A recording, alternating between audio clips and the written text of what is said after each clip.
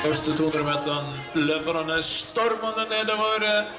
Siste langside her, det er Ete eh, Hatula som leder. Altså. Så kommer Per Magnus Olli og avslutter bursdagen sin på aller beste måte.